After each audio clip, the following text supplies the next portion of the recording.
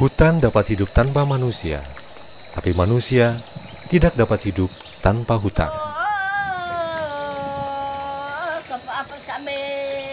Pentingnya peran hutan, sehingga hutan tidak dapat dipisahkan bagi makhluk hidup lainnya.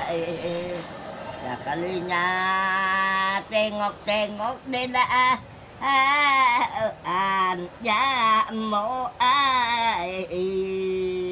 Hutan meratus adalah hutan hujan tropis yang berfungsi sebagai paru-paru dunia, menjaga keseimbangan ekosistem, mengatur iklim, dan mendatangkan hujan.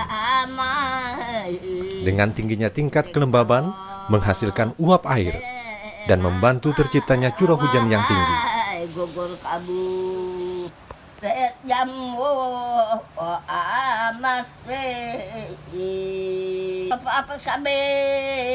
Sebagai tandon air, hutan meratus adalah sumber air yang berlimpah, menciptakan banyaknya mata air yang membentuk aliran-aliran anak sungai. Di antaranya aliran anak sungai Batangalai adalah Sungai Panyaguan, Sungai Kagaringan, Sungai Aing Muhut, Sungai Karu, Sungai Panghiki. Semuanya menjadi satu pada Sungai Batang Alai.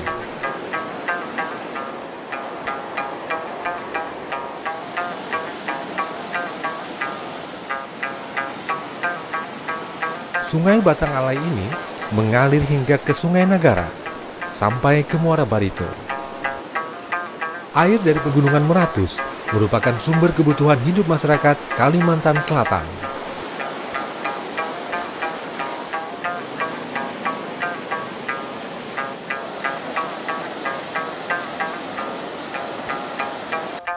Biarkan anak cucu kami menikmati hutan yang indah dengan air yang bersih.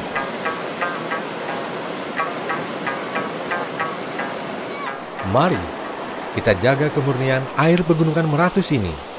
Harmoni alam dapat memberikan ketenangan dan kedamaian.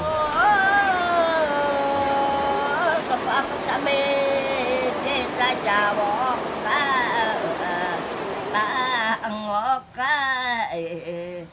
ay, ay, ay. Tingok, tingok.